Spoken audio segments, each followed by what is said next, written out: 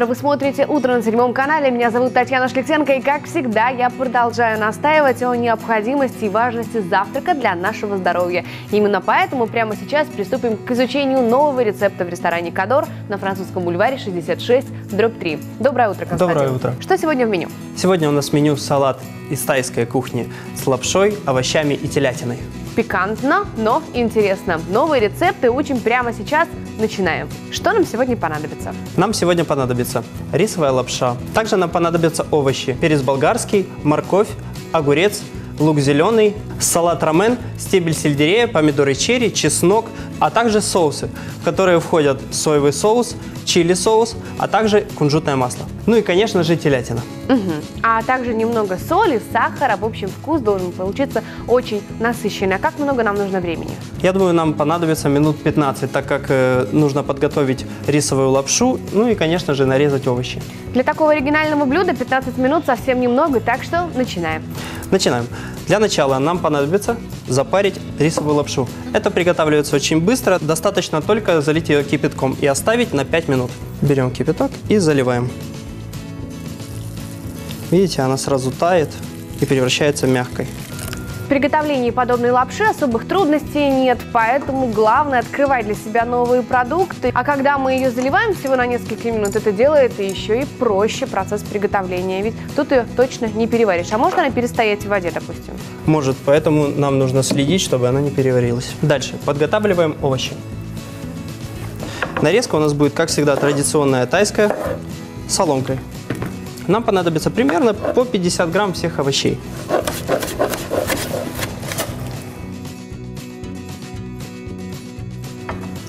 Берем огурец.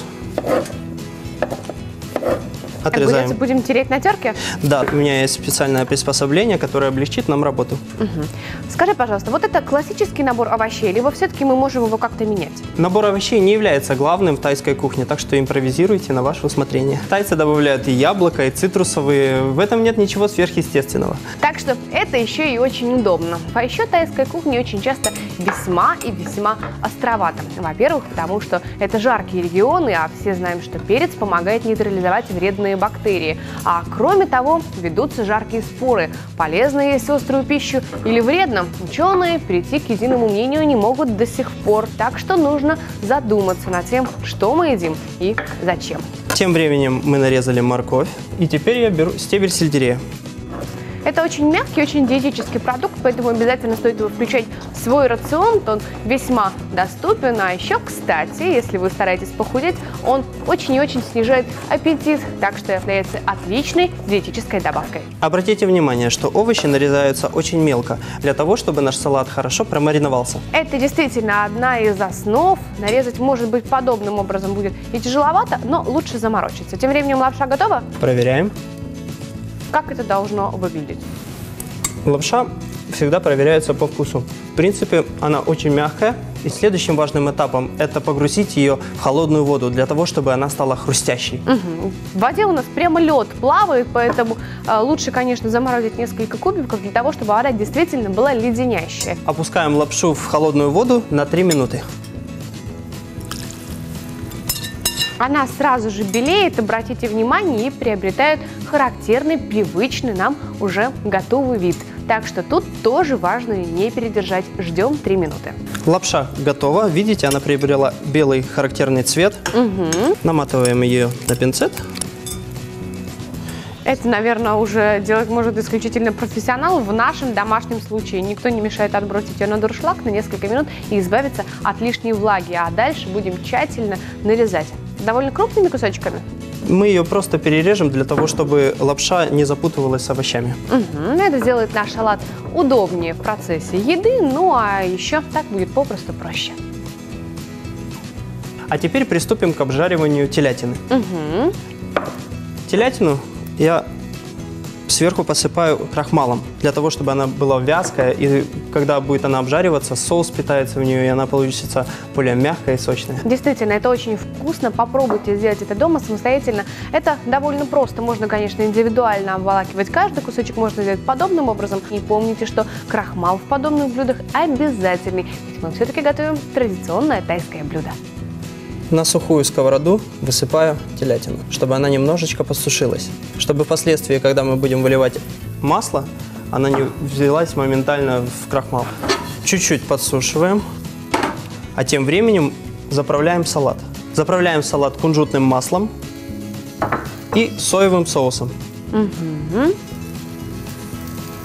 А также дорежем зеленый лук, который пойдет у нас на декор. Нарезаем такими перьями. Действительно. Ну и, конечно же, чеснок. Тайская кухня без чеснока никуда. Возможно, конечно, это не очень понравится вашим офисным сотрудникам, но, тем не менее, блюдо это традиционное и без чеснока тоже никуда не обойтись. Добавляем чеснок сразу в салат. Телятина подсушилась и добавляем оливковое масло. Совсем немного. Для цвета. Пока телятина обжаривается, я нарежу помидоры черри. Не забываем помешивать. Телятина готова, и я добавляю сладкий чили соус. Вот это как раз та острота, о которой мы говорили в тайской кухне. Также салат нужно приправить чуть-чуть солью и сахаром для смягчения вкуса. Так мы добьемся такого традиционного кисло-сладко-острого оттенка во вкусе. Перемешав салат, Татьяна, я могу его выкладывать? С удовольствием. Не нажимайте на салат, когда перемешиваете. Его нужно слегка вспушить. Мне нравится, что в нем очень много оттенков, как вкусовых, так и цветовых. Действительно очень красивое и яркое блюдо, при этом оно практически не поддавалось термической обработке, поэтому овощи сохранили все свои первоначальные витамины. Это, согласитесь, тоже очень прекрасно и полезно. А мы, в свою очередь, добавляем немножечко салата, как всегда, добавляем, конечно же, основное мясо вместе с соусом. Конечно. Для этого я его и заливал соусом. Но соуса очень мало. Он впитался в телятину и свой вкус отдал именно ей. Но это тоже здорово, при этом очень акцентированный аромат кунжутного масла в этом блюде присутствует, поэтому его нужно добавлять обязательно для того, чтобы добиться первоначального вкуса. Ну, а нам остается только его украсить. Компоненты мы уже предварительно подготовили. Помидоры черри для яркости и красоты. Зеленый лук. Ну и, конечно же, кунжут.